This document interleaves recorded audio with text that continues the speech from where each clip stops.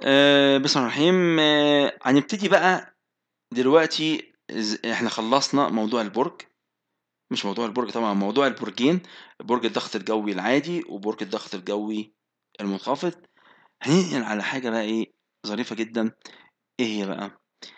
عملية الفصل. إحنا فصلنا already البترول آآ بالتقطير التجزيء أو fraction distillation. بس زي ما إحنا اتكلمنا في البُرج قبل كده، في البُرج بيطلع لي lubricant oil وبيطلع لي fuel oils وبعد كده بيطلع لي الواكس. طيب أنا الزيوت اللي أنا عايز آخُدها، عايز أبتدي أنقّيها، أبتدي أنقّي الزيت، لإن الزيت عبارة عن mixture من زيوت كتيرة. فالزيوت عندي شوفوا زي ما هي متكوّنة، الزيت طبعًا اللي هو الlubricant اللي بيطلع هو عبارة عن زيوت تزييت، أدي واحد. معاه مواد برفانية، يعني إيه مواد برفانية؟ آه، مركبات فيها single bond. مواد أسفلتية يعني الmolecular بتاعها عالي جدًا وبالغالب أروماتية. ومركبات أروماتية بسيطة زي الphenolic A compound اللي هو ده. فهنا أنا أستخلص الله! طب أنا كل هَمّي يا جماعة إن أنا أحصل على الزيت ده. أنا ولا عايز ده ولا عايز ده ولا عايز ده. أنا عايز ده. يبقى أعمل إيه؟ أبتدي أتخلّص من ال3 دول. أتخلّص منهم إزاي؟ أتخلّص الأول من البروبان ال المواد اللي هي المشبعة. أستخلص منها بإيه؟ بsolvent. ولازم نحط في دماغنا قاعدة solvent like solvent. أو like د like إيه؟ dislike. بمعنى إن المادة المادة القطبية تحب السائل القطبي. والمادة الغير قطبية لا تحب آآ السائل الإيه؟ القطبي. طيب. يعني معنى الكلام ده إن المواد البرفانية أبتدي أشيلها بسائل غير قطبي. عشان الهيدروكربون ده غير قطبي. طب والمواد الأسفلتية؟ نفس الكلام.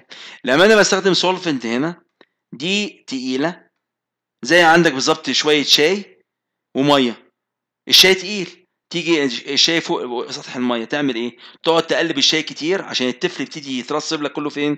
في القاع. هو اترسّب في القاع ليه؟ ما بيحبش المَيّة؟ لأ، بيحب المَيّة. بدليل إن هو داب في المَيّة، بس ده أتقل جزء في الشاي، الجزء التقيل. فالجزء التقيل يترسّب أسفل فين؟ البُرج. بعد كده ال الحاجات تتخلّص بيها بال بالسوائل هي المركبات البرفانية والمركبات الأروماتية. يعني معنى الكلام ده إن في عملية الفصل إحنا استخدمنا هنا إيه؟ مُذيبات. استخدمنا مُذيبات. طب لو قدر الله المُذيبات مش نافعة. أنا مش عارف أفصل. يبقى ما عنديش غير الحل التالت اللي هو عملية الإيه؟ التبريد. العملية التبريد عملية مهمة بس للأسف مُكلّفة. مُكلّفة ليه بقى؟ إن في التقنية ديّة إحنا بنستخدم خلّي بالنا بقى، التقنية دي غالية، فبنستخدم فيها لفصل الغازات والسوائل. كلمة تبريد يعني إيه؟ تبريد أنا باقرّب الجزيئات لبعض باخلّيها زي السائل. عارفين زي إيه بالضبط؟ البوتاجاز بتاع البيت اللي عندنا أو الغاز الطبيعي. مش ده عبارة عن غاز؟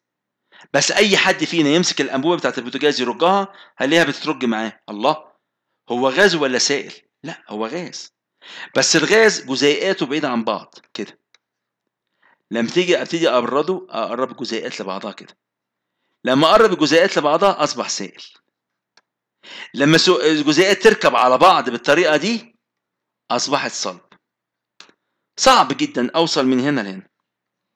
بس سهل جدًا أوصل من هنا لهنا بالتبريد. لإن أقرّب الجزيئات لبعض. وسهل أتحوّل من هنا لهنا بالتسخين أو من هنا لهنا بالتسخين. دي نقطة مهمة، دي نقطة فيزيائية مهمة في الكيميا طبعًا. فنوّة التبريد هو بيقرّب تقريب الجزيئات لبعضها وتحويلها لإيه؟ لسائل. طبعًا هي كل كل جزيء كل مركب يحصل له عملية تبريد، التبريد ده المنطقة دي عشان يوصل لها ليها درجة حرارة معيّنة، ممكن -70 زي النيتروجين، ممكن -48 ممكن -20 وهكذا. كل مركب ربنا خلقه ليه درجة تبريد. فنجد هنا أهوّة إن الغاز والسوائل شوفوا الميثان. يبرد عند كام؟ minus 62 minus 62 الإيثان minus 88 ونص. البروبان minus 42 يعني إيه؟ يبقى سائل ها؟ هنبرده ده غاز. هنتفقنا من C واحد ل C أربعة غاز أهو. واحد اتنين تلاتة.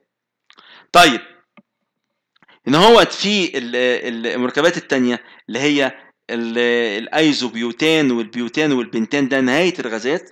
شوفوا الأيزوبنتان كام؟ ناقص كام؟ 12 البيوتان العادي اللي هنستخدمه في البوتاجاز صفر. البنتان زائد 36 ودي نعمة إن البيوتان اللي هنستخدمه عند درجة حرارة صفر. عشان كده أكبر غلطة لو إحنا استخدمنا أنبوبة البوتاجاز وحطيناها تحت لهب أو درجة حرارة عالية بنخلي الصفر بتاعي أو درجة حرارة الغرفة بينزل بيعلي درجة حرارة الصفر ديت. لو على درجة حرارة الصفر دي يبتدي ال ال السائل يتحول يبقى إيه؟ غاز. الغاز عايز يخرج والأنبوبة كانت مع نفسه يحصل إيه؟ عملية الإيه؟ الانفجار. فعشان كده أهم حاجة عندنا عملية التبريد للإيه؟ للغازات. إحنا كده هنقف آه، في عملية الفصل وسواء كان بالتبريد أو بالمذيبات أو أول مرة بالتقطير التجزيئي وهنتكلم المرة الجاية على جزئية مهمة جدا وتكسب فلوس حلوة قوي اللي هي عملية الإيه؟ التحويل. شكرا يا جماعة وإلى اللقاء الحلقة الجاية.